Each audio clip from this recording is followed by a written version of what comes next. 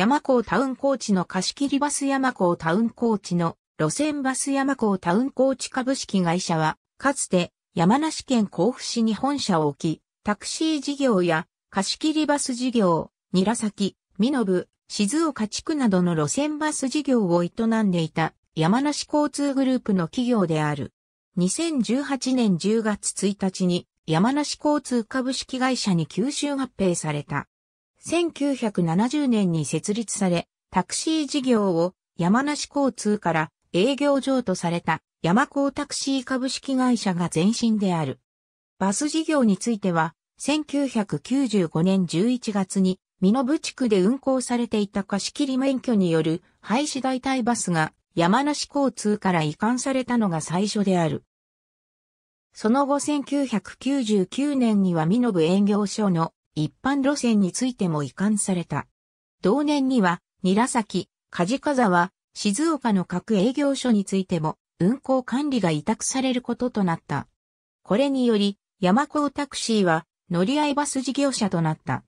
2002年には、韮崎、静岡の2営業所について、すべての業務が移管された。同時に社名を山高タウンコーチ株式会社に変更した。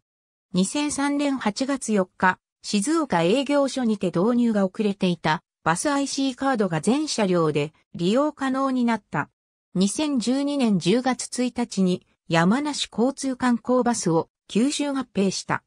また、2017年10月1日に山梨貸切自動車を吸収合併し、合わせてタクシー事業の統一ブランド名を YK タクシーとした。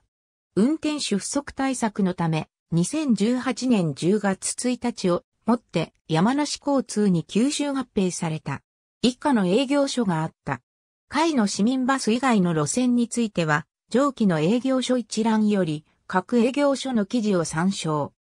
なお、2015年12月7日に山梨交通が導入したパスモは当初山港タウンコーチでは導入していなかったため、旧来のバス IC カードが引き続き運用されていた。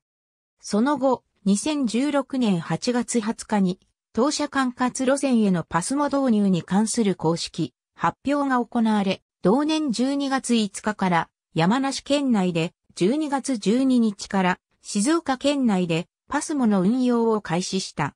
海野市のコミュニティバスである海野市民バスのうち、ジャンボタクシーを使用する路線の運行を受託していた。運賃は距離に関係なく一乗車200円。